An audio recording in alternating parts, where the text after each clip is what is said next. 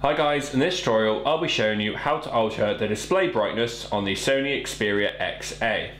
Now the display brightness is basically the brightness of your display.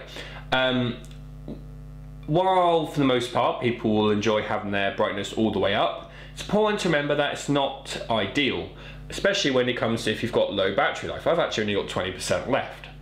With a high um, display uh, brightness, you can find your battery life drains a, lot more, considerably a lot more, um, in fact.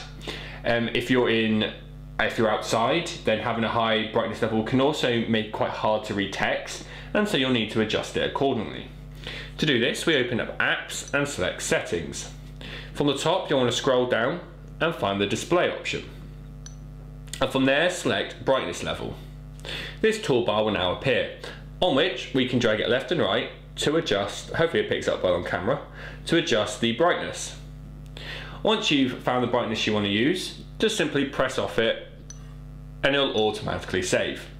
And you can also go back, in, uh, back into that menu whenever you need to, so you can keep adjusting the brightness levels whenever it suits.